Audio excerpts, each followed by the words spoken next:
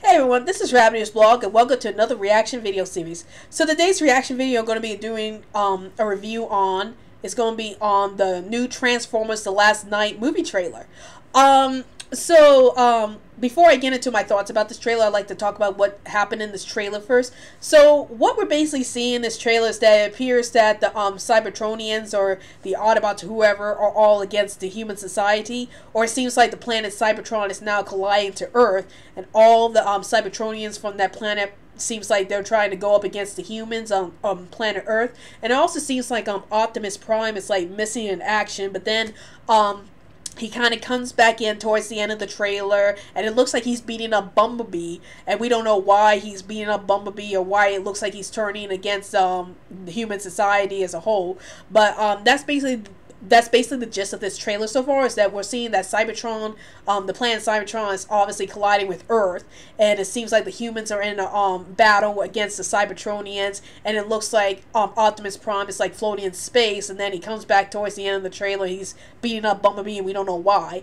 Um, so what are my thoughts about this trailer? I thought this trailer was like really interesting. Like it seems really darker and edgier than what we've seen of the um, Transformers franchise.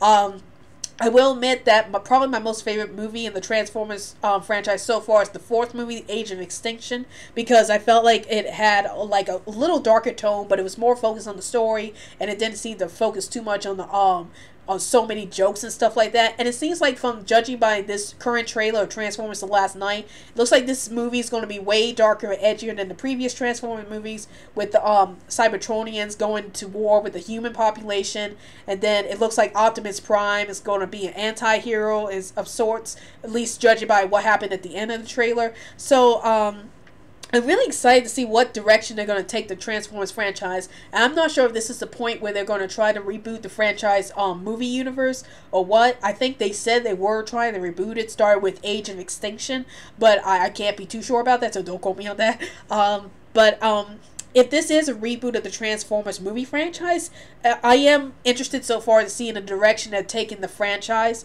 Um, I just like to see um, what kind of story they're going to be telling, um, where's this going to put Optimus Prime or his relationship with the human population. I'm really interested to see uh, what's going to happen in this trailer. Um, hopefully, you know, we get a good story out of this movie, but the trailer looks fantastic. Um, it's telling me um, hopefully the movie will have a good story. So I'm looking forward to that. I'm hoping that um, we get a good story out of this movie, and I'm really excited to see um, where they're taking the Transformers franchise at this point.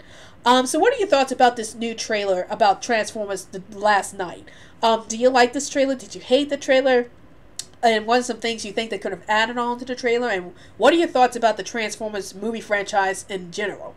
Please feel free to comment below and don't forget to follow me on Twitter so I can keep you updated any new videos I post up. And also, like my Facebook page, Rabbit Ears Blog's Best Comments. Well, I hope you enjoyed this video. This is Rabbit Ears Blog, and I'll see you